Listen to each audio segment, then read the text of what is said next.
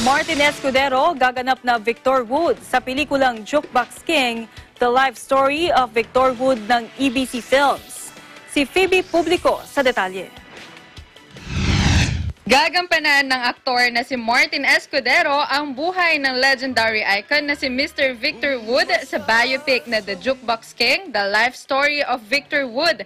Sa ilalim yan ng produksyon ng EBC Films, ang film outfit ng Eagle Broadcasting Corporation mula sa direksyon ni Carlo Ortega Cuevas. Sa ginanap na contract signing at pictorial para sa nasabing pelikula, opisyal na ipinakilala si Martin bilang gaganap sa title role. Hindi din akalain ni Martin na muli na naman siyang magiging busy sa paggawa ng pelikula habang dumaranas ang bansa ng matinding hamon dahil sa coronavirus pandemic. Bago ko pa malaman, ah, hindi na rin naman ako, dahil nga pandemic ngayon, hindi ako umaasa muna na makakabalik ako sa showbiz, makakagawa ng pelikula. Then, bi- nagulat ako na tinawagan ako ni Tita Becky, yung manager ko. So, sabi niya, oh, may, ano, ah, kinuha ka sa isang ah, project, ah, life story ni Victor Wood. Hindi ko inaasahan. Tapos, um, importanteng proyekto pa to dahil ah, alam naman natin na si Victor Wood eh, tumatak talaga po. Kaya gumawa ng sarili niyang history. Ah, jukebox king na tinatawag. Kaya sobrang ah, natuwa ako dahil ah, pinagkatiwala sa akin yung ganong klase ng proyekto na Ngayon pa lamang ay pinag-aaralan na umano ni Martin ang kilos at galaw ng tinaguriang Jukebox King ng Pilipinas. Aminado siyang malaking hamon ito sa kanya bilang isang artista. Una, syempre, hinahanap ko yung mga clips ni Sir Victor. Ah, kailangan kong mapanood kung ano yung ah, ginagawa niya, paano siya kumanta, kung ah, paano siya personal na gumalaw at ah, magsalita.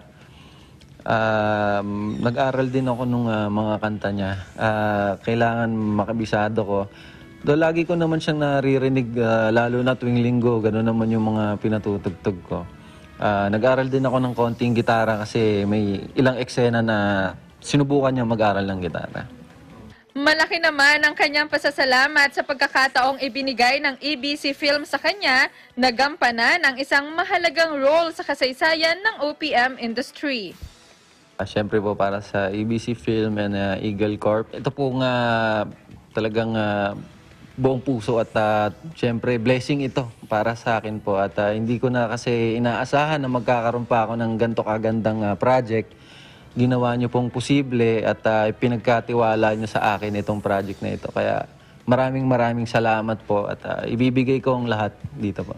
Tinaguri ang Jukebox King at Plaka King si Victor Wood sa kasagsagan ng kanyang karera sa industriya noong 70s.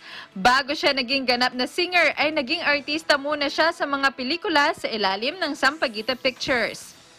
Una siyang gumanap sa title role na Mr. Lonely kung saan nakatambal niya ang aktres na si Johanna Garcia.